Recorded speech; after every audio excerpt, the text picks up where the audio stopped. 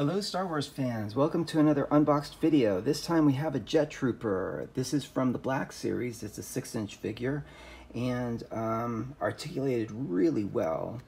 Um, the only thing is when he stands, he tends to be a little like back heavy um, because of his uh, jetpack on the back, but articulated really, really well.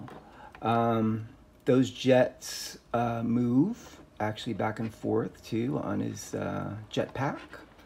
And um, that's why I actually have him holding his blaster. His blaster can also, here, let me uh, pause this video and uh, put his blaster on his uh, right leg armor. I'm back, and as you can see, I do have his blaster now on his leg armor. There's like a little slot in there to conveniently like hold his blaster. So um, gosh, this figure is like really, it's such a good design.